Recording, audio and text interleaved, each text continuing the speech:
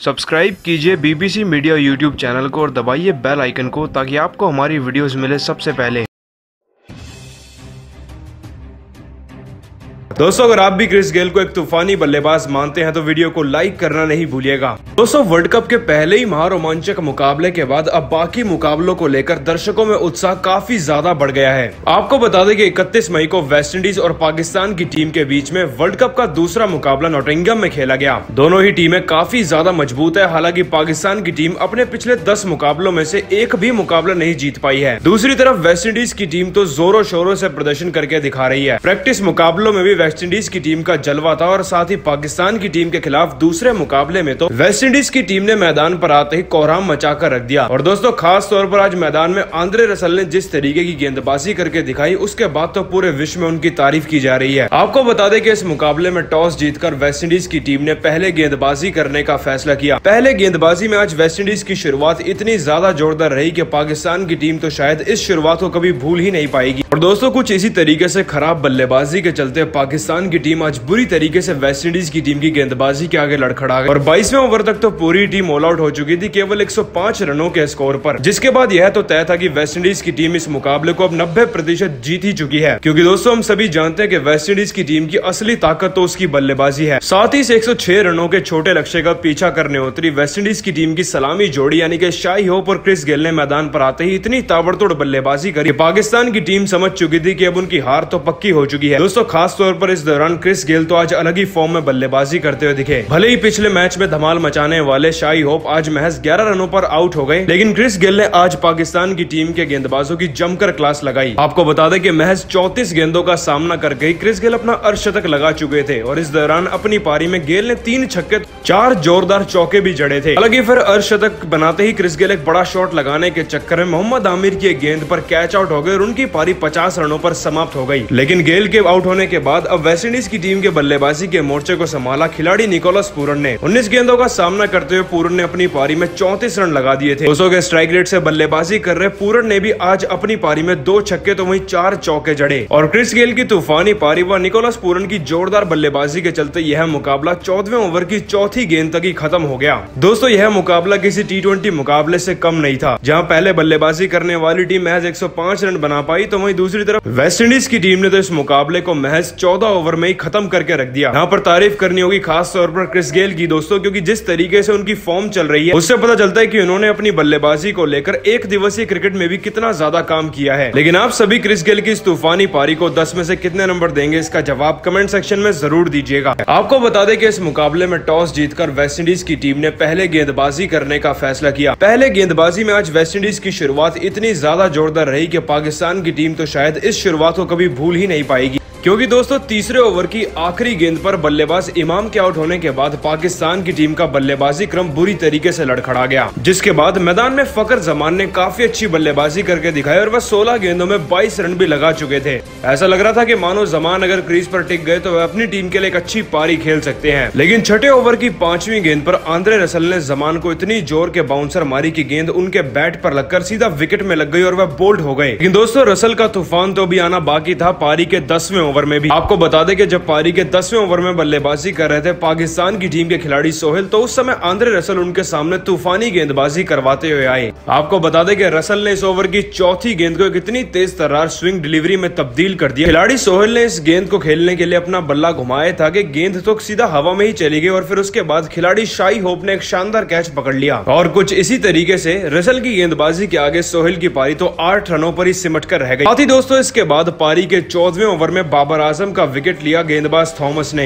और पारी के सत्रहवें ओवर में तूफ़ान देखने को मिला गेंदबाज जेसन होल्डर का, जिन्होंने सरफराज खान के साथ साथ इसी ओवर की आखिरी गेंद पर बल्लेबाज इमाद वसीम को भी केवल एक रन के छोटे स्कोर पर चलता कर दिया। और अभी यह दो विकेट गिरे थे कि पारी के अगले यानी कि अठारवे और उन्नीसवें ओवर में पाकिस्तान की टीम को दो बड़े झटके और लग गए। सिर्फ़ इतने ही नहीं, फिर पारी के बीसवें ओवर में गेंदबाज थॉमस ने बल्लेबाज हाफिज का विकेट लेकर अपनी टीम को पाकिस्तान की टीम का नौवा विकेट भी दिलवा दिया था। पाकिस्तान की टीम बुरी तरीके संकट में आ चुकी थी क्योंकि टीम का स्कोर महज तेरासी रन था और अब टीम के नौ विकेट गिर चुके थे। हालाँकि इसके बाद मैदान में वाहब रियाज ने कुछ छक्के और चौके लगाए, लेकिन कहीं ना कहीं आज पाकिस्तान की टीम बुरी तरीके से पिछड़ती हुई नज़र आई। परंतु फिर आगे चलकर गेंदबाज थॉमस ने ही वाहब रियाज को बाईसवें ओवर की चौथी गेंद पर क्लीन बोल्ड कर दिया। इसी के साथ रियाज की अठारह रनों की पारी तो समाप्त हो ही गई, साथ ही पूरी की पूरी पाकिस्तान की टीम भी बाईसवें ओवर की चौथी गेंद पर अब महज 105 रनों के स्कोर पर ही क्लीन बोल्ड हो चुकी थी। और दोस्तों, कुछ इसी तरीके से आज मैदान में आंद्रे रसल व थॉमस की तूफानी गेंदबाजी के आगे पाकिस्तान की पूरी की पूरी टीम सिमट कर रह गई। जहाँ रसल ने तूफानी गेंदबाजी से शुरुआती दौर में ही अपनी टीम को बड़े विकेट दिलाए तो वही थॉमस ने अपनी गेंदबाजी से बाद में टीम को बाकी बचे कुछ विकेट दिलवा दिए। और कुछ इसी तरीके से पाकिस्तान की टीम के खिलाफ अपने पहले वर्ल्ड कप के मुकाबले में आंद्रे रसल ने तूफानी गेंदबाजी से कहर मचाते हुए दिखे। लेकिन दोस्तों, आप सभी रसल की इस गेंदबाजी को दस में से कितने नंबर देना चाहेंगे, इसका जवाब कमेंट सेक्शन में ज़रूर दीजिएगा। तो वर्ल्ड कप का ऑफिशियल टूर्नामेंट आखिरकार शुरू हो चुका है। आपको बता दें कि 30 मई को इंग्लैंड और साउथ अफ्रीका की टीम के बीच में एक मुकाबला खेला गया, जिसे इंग्लैंड की टीम ने बड़े अंतर से जीत लिया। इस मुकाबले को इंग्लैंड की टीम ने 104 रनों के बड़े अंतर से जीतकर कहीं न कहीं साउथ अफ्रीका की टीम को वर्ल्ड कप की रेस में पीछे धकेल दिया है। साथ ही इस मुकाबले की शुरुआत से ही कहीं न कहीं इंग्लैंड की टीम साउथ अफ्रीका की टीम पर हावी रही थी। बात चाहे बल्लेबाजी की की जाए या फिर गेंदबाजी की, इंग्लैंड की टीम के खिलाड़ियों ने अपना सौ प्रतिशत देने में कोई कमी नहीं रखी। इसका नतीजा यह रहा की अंत में साउथ अफ्रीका की टीम के सभी बल्लेबाज बिखरते हुए चले गए, क्योंकि 312 रनों का लक्ष्य वाकई में काफ़ी ज़्यादा बड़ा था। सिर्फ़ इतना ही नहीं, साउथ अफ्रीका की टीम की तरफ़ से तो क्विंटन डिकॉक के अलावा और कोई बल्लेबाज कुछ ज़्यादा खास कमाल नहीं कर सका।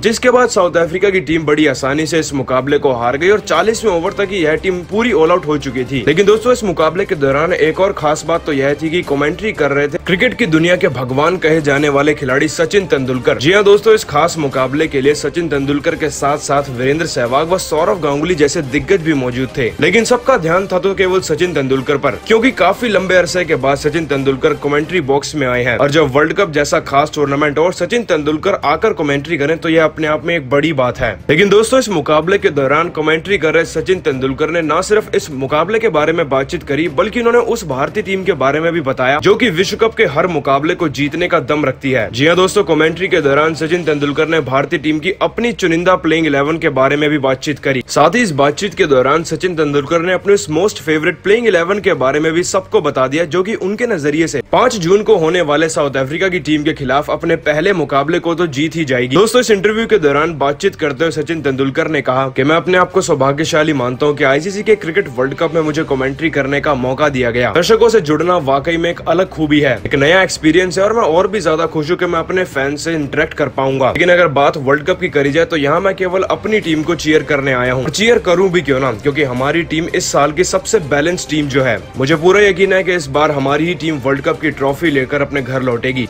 दोस्तों, इसके बाद जब वीरेंद्र सहवाग ने सचिन तेंदुलकर से यह पूछ लिया कि आपके नज़रिए में वह कौन सी प्लेइंग इलेवन है जो कि पहले मुकाबले में साउथ अफ्रीका की टीम के खिलाफ होनी चाहिए? तो इस बात का जवाब देते हुए सचिन तेंदुलकर ने कहा, मैं आपको अपने मोस्ट फेवरेट प्लेइंग इलेवन खिलाड़ियों का नाम बताता हूँ। भारतीय टीम की तरफ़ से ओपनिंग करने चाहिए हमेशा की तरह रोहित शर्मा व शिखर धवन। इसके बाद टीम के मिडिल ऑर्डर को संभालने के लिए कप्तान विराट कोहली के साथ साथ महेंद्र सिंह धोनी के राहुल और विजय शंकर जैसे धुआंधार ऑलराउंडर खिलाड़ी तो है ही। साथ ही मुझे ऐसा भी लगता है की टीम में दो ऑलराउंडर खिलाड़ियों का होना बहुत ज़रूरी है। इसलिए हमारी टीम में हार्दिक पांड्या, रविंद्र जडेजा ज़रूर खेले। और इंग्लैंड की इन पिचों पर एक स्पिनर गेंदबाज का टीम में होना ही काफ़ी है तो मैं चुनूँगा कुलदीप यादव को, और वही तेज गेंदबाजी की कमान रहनी चाहिए हमेशा की तरह जसप्रीत बुमराह और भुवनेश्वर कुमार के हाथों में। मुझे लगता है की यह टीम पाँच जून को तो क्या वर्ल्ड कप में होने वाले सभी मुकाबलों को जीतने का दम रखती है। दोस्तों, कमेंट्री कर रहे सचिन तेंदुलकर ने अपनी बेस्ट प्लेइंग इलेवन बता दी है। लेकिन आप सभी को क्या लगता है क्या सचिन की प्लेइंग इलेवन पाँच जून को साउथ अफ्रीका की टीम के खिलाफ होने वाले अपने पहले मुकाबले को जीत पाएगी या फिर नहीं, इस बात का जवाब कमेंट सेक्शन में ज़रूर दीजिएगा। दोस्तों, काफ़ी लंबे इंतज़ार के बाद और अभ्यास मुकाबलों के बाद खास तौर पर अब वर्ल्ड कप की ऑफिशियल शुरुआत हो चुकी है। आपको बता दें कि 30 मई को आज पहला और रोमांचक मुकाबला इंग्लैंड और साउथ अफ्रीका की टीम के बीच में खेला गया। दोनों ही टीमों के नाम सुनकर आप इस बात से अंदाज़ा लगा सकते हैं कि दर्शकों में कितना ज़्यादा रोमांच रहा होगा।